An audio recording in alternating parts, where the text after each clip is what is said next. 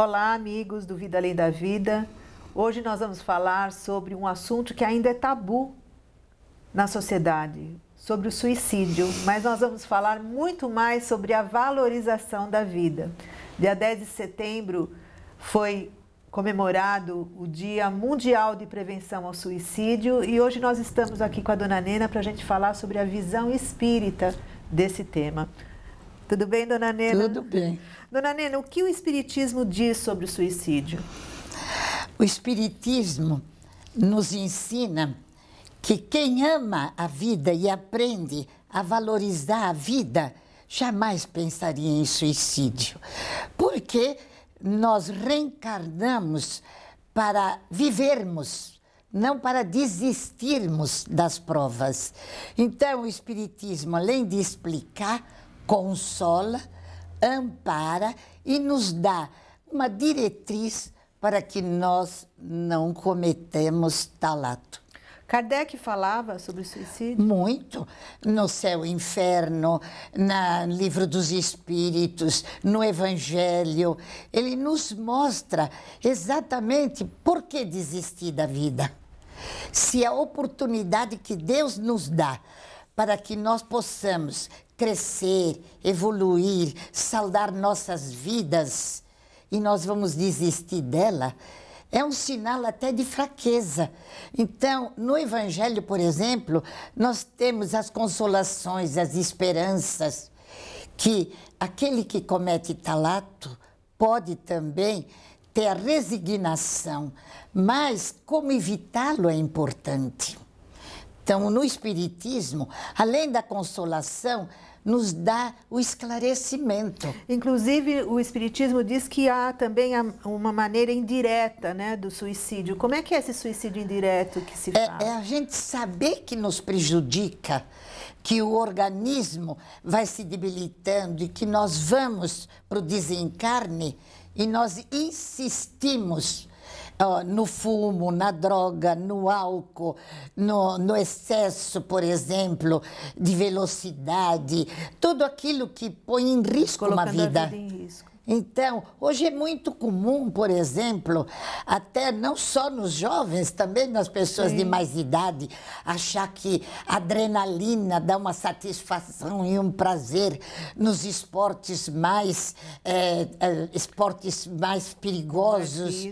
Então, isso é bonito e é cultivado, mas a gente sabe que também nos leva ao suicídio involuntário.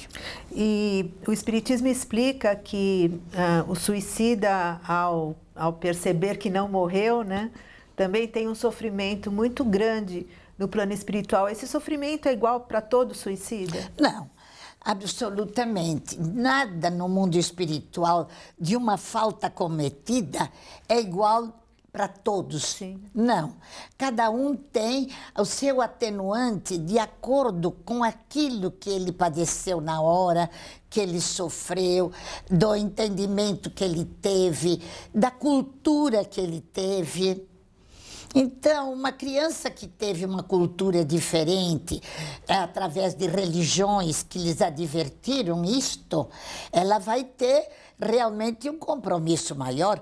Por exemplo, um espírita. Depende da intenção, né? É. Um espírita que se suicida, o que ele já teve notícias do que é o agravante de um suicídio, ele tem uma responsabilidade maior. Aquele que traz dentro de sua religião isto como um culto, ou um, por exemplo, um desfecho de honra, ele tem sim a, a sua pena, mas não tão agravada quanto o outro. Então, a responsabilidade é de acordo com o conhecimento. E, dona Nena, por que, que os espíritos superiores é, não evitam que, que as pessoas cometam suicídio? Na, na, hora do ato suicida, por que, que eles não protegem? Porque o livre-arbítrio de cada um é direito que funciona. Deus nos dá isto assim que somos criados. Então, Deus nos deu, espírito nenhum tem o poder de fazer isto. Ele pode sim e nos ajuda muito. Muitas vezes eles interferem para que nós não cometamos tal ato, mas surdos ao apelo destes espíritos, ouvimos mais aqueles que nos interessam. Então, muitas vezes, não Por é. uma questão da sintonia é, mesmo que é a gente se Uma questão que não é que eles não nos ajudam a não cometermos o ato. É que nós estamos tão distanciados Entendi. que não conseguimos ouvi-los. Quanto poderá às vezes um espírito a ajudar, tentar ajudar, um espírito familiar, um espírito de luz, uma criatura que está prestes a se suicidar. Ele faz tudo, mas ela está surda a estes apelos. É por isso que é importante que o encarnado faça.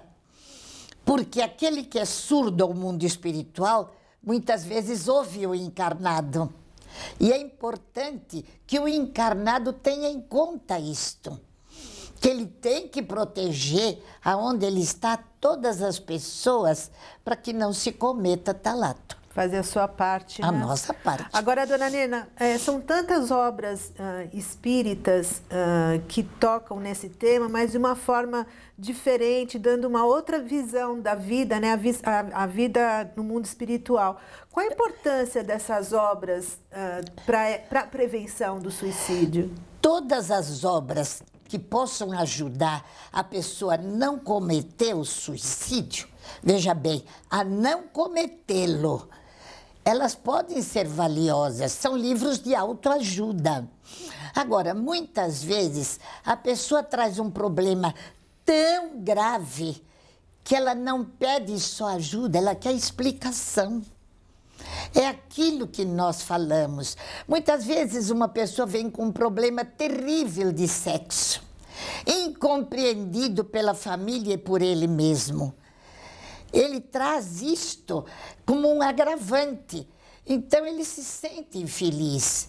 Se ele tivesse uma explicação melhor, como nós encontramos nos livros espíritas, então talvez ele aceitasse mais a vida com o problema que ele traz. Então a aceitação depende também da explicação não só da ajuda. De raciocinar, né? Isto na educação da criança é importante. Você educa uma criança para que ela saiba o que não pode fazer. Se ela põe o dedo numa tomada, ela corre risco de se machucar. Ou no fogo. Mas você tem que explicar, porque a criança vai e põe o dedo. Então, espiritualmente falando, quando nós cometemos talato, somos também imaturamente é, espiritual. Imaturos, imaturos. Porque a gente está na vida é para vivê-la, não é para desertar dela. E por mais que seja o sofrimento, a dor, a gente está preparado para enfrentar isso tudo, né? Não, Senão a gente não teria reencarnado. Não, mas mesmo assim, por exemplo, qualquer que seja o problema, é dar tempo ao tempo. Sim. Porque muitas vezes o tempo traz soluções que nós não encontramos hoje. Mas com o tempo, é elas chegam. Então você tem que investir também. E o tempo é maravilhoso. Por exemplo, uma criatura que tenha um grave problema de sexo. A ciência traz inovações, o tempo faz com que venham novos remédios, novas condições de vida. E mesmo quando não vierem, chega uma velhice tranquila. Então, valorizar o tempo é também exatamente um meio de prevenção. Um né? meio de prevenção. A senhora está falando de tempo e tem uma obra que é clássica né, no Espiritismo, que é a obra da, da Ivone Pereira, Memórias de um Suicida, e que ela realmente ficou um tempo com essa obra guardada, né, porque não tinha autorização para poder publicá-la. Conta um pouquinho dessa história, dona Nina, a senhora Bom, que sabe você tanto falou, sobre Ivone. Você falou no início sobre o tabu que ainda é o suicídio. Imagina chegar um livro a uma editora espírita. Naquela época, é. a Ivone não era conhecida, Ivone Pereira, com um livro como Memórias de um Suicida, que conta a vida de um suicida importante como Camilo Castelo Branco. O Chico falou, Chico Xavier, que em 100 anos não sairia outro livro tão bom como o da Ivone Pereira. Então, aquele livro foi o pioneiro. Nada e é havia se falado. sobre o assunto. Né? Claro, ele conta a vida do suicida no mundo espiritual. Ele fala exatamente do desespero desse escritor, a, a, desilusão que ele se sente em se sentir vivo. E também do socorro, né, dona? E do socorro é que é tido. Lindo, né? Então, ela traz, as obras de Kardec falaram, mas a Ivone foi muito inspirada ela realmente trouxe no livro aquela maneira. Quem lê o livro Memórias de um Suicida dificilmente vai se suicidar. É um livro que devia ser muito mais divulgado que ainda é. E a Ivone, ela tinha um respeito tão grande pelos suicidas que ela tinha uma coisa linda, porque ela tinha sido. Ela suicida, foi, foi, suicida em vidas passadas. Então, ela recortava dos jornais todos os noticiários das pessoas que se suicidavam e ela os trazia de, da, na, durante na parte da manhã ela fazia o culto. Então nesse culto matinal ela orava por todos os suicidas. Olha. Então ela dizia toda casa espírita deveria ter um trabalho Sim especialmente, e falar mais sobre suicida. A Casa Espírita fala muito sobre caridade, fala muito é, de, de talentos, conta biografias. Mas a pessoa tem temor em falar de suicídio. Inclusive, dona Nena, foi comprovado, as pesquisas apontaram que 90% dos suicídios podem ser evitados através da informação. Pois é. Né? Então, a importância da casa espírita com essa informação para poder diagnosticar uma, uma doença psicopatológica, alguma coisa, depressão, ansiedade. Claro, né? porque às vezes a criatura já tem uma tendência ao suicídio, mas ela pode ser patológica também. A pessoa que é depressiva, ela não tem Sim. vontade de viver, ela não acha graça em nada, ela não sente alegria. Então, a tristeza é uma conselheira. Precisa ser cuidada. Né? Cuidada. É. A casa espírita tem uma obrigação, teria uma obrigação de falar mais, trazendo esperança, enaltecendo a vida. Porque, veja, nem para todos a vida é tão fácil. Então, dizer para alguns, ah, você tem que ter esperança, Sim. não se suicide, para quem tem tudo, é mais fácil. Para quem muitas vezes nada tem, dói, né? É muito difícil. Então, a casa espírita dá muito apoio, mas não é só tomar o passe e sair, não. Tem que ter muita explicação. E falar sobre o suicídio não é uma coisa tão amarga assim. Não, Pelo contrário, vida... você pode dar muito consolo às famílias daqueles que se suicidaram. Vamos a um breve intervalo e voltamos em seguida.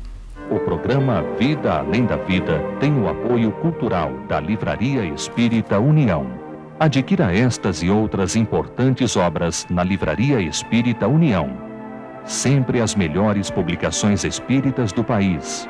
Livros de todas as editoras espíritas. Descontos especiais para centros espíritas, associações, livrarias e clubes de livros. Livraria Espírita União. Avenida Rangel Pestana, 233, ao lado da estação Sé do metrô. Voltamos com Vida Além da Vida. As pessoas, a senhora acha que as pessoas estão desistindo mais da vida por causa dessa cultura materialista que a gente tem, então acaba se desesperando mais por não ter as coisas? Como é que a senhora vê é, esse processo na, na sua casa espírita? Bom, um dos grandes motivos é esse, sim. A pessoa, ela investe muito mais no material do que na vida após a morte. Porque para ele a morte é, é, não existe. existe a boa vida, o prazer.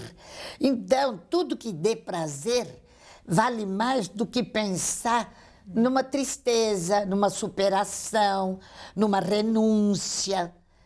Então a pessoa. Muda, mudança de valores. De né? valores. É, é claro que a pessoa hoje corre muito mais atrás do prazer.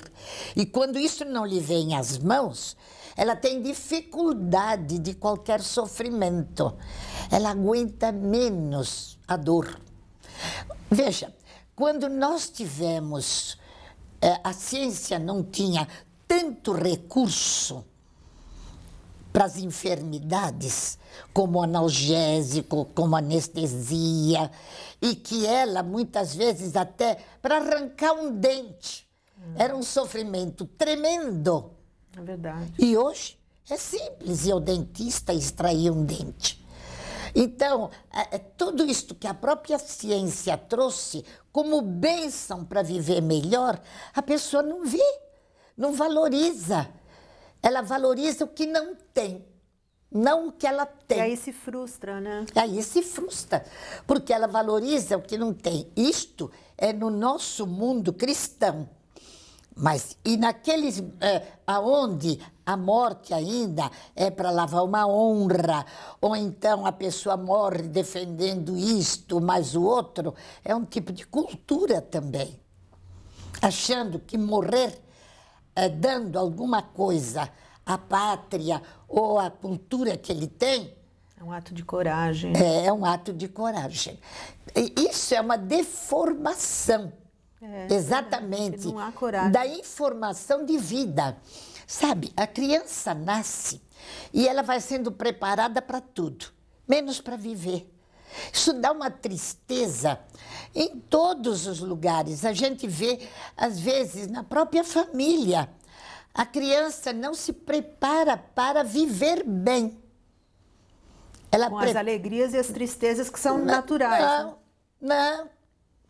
Ela, ela precisa ter, a criança precisa ter um protetor. Machuca o dedinho, o pai vai lá, beija o dedinho, vai passar. Então o pai vai exatamente é, tirar todas as dores da criança.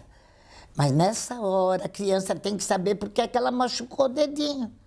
Porque ela abriu a gaveta e prendeu o dedo. Não é? Verdade, é verdade. Então, a criança já não se prepara para viver bem.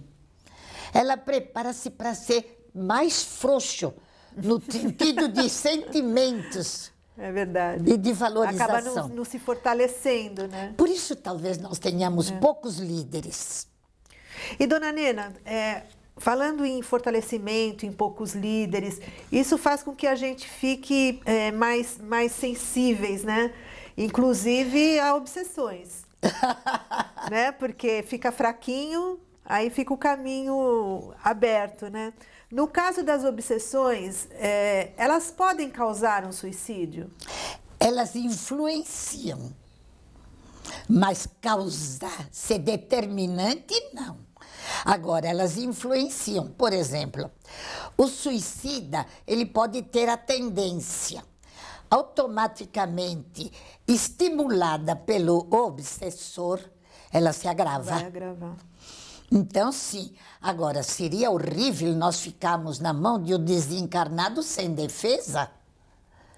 Isso seria um contrassenso na é porque, vida. se a gente parar para pensar, a escolha da sintonia já foi feita antes. Né? Antes. Né?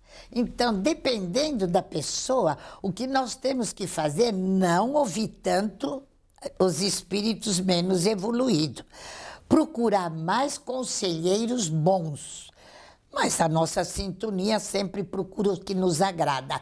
Ora, um que já tem a tendência a suicídio vai ouvir bem melhor aquele que o estimule a talato Sim. do que aquele que diga que não. É isso que acontece. É por isso que nós temos que falar sem tabus é, sobre o suicídio. É um, é um tabu muito grande e muito você grande. fica... Mesmo as famílias né, que, porventura, tenham passado por isso, ficam numa situação constrangedora, como se fossem culpadas de, de, daquilo que está acontecendo, né? Então isso é preocupante também. É preocupante, é por isso que os pais se devem deter, é, fa os familiares, para ver quem são, porque a depressão, por exemplo, Sim. ela leva ao suicídio. A pessoa é depressiva, ela não acha beleza em nada, em coisa alguma. Então, ela está precisando fazer tratamento. Precisa ser cuidada. Ela precisa ser cuidada. E qual seria a melhor forma de a gente, da, da gente uh, estimular essas pessoas a valorizarem mais a vida e saírem dessa sintonia de ideia suicida? Uma coisa muito importante é a pessoa visitar aonde haja sofrimento. Ver que ela, ela às vezes, ela se julga a maior vítima aqui na Terra.